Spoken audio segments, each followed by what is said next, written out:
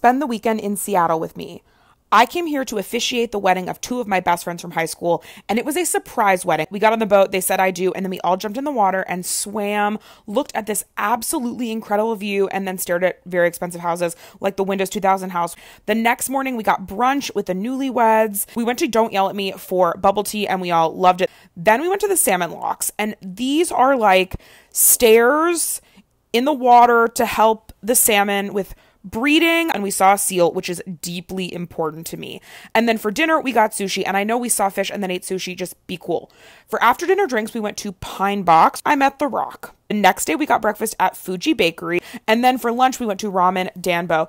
Got rachel's ginger beer which is one of my must orders in seattle and then we walked around and i got a surprise gift for my friend christina that i knew she wanted as a wedding gift. And then for dinner this night we went to milk drunk. Next morning, woke up crazy early, got on a plane, came home,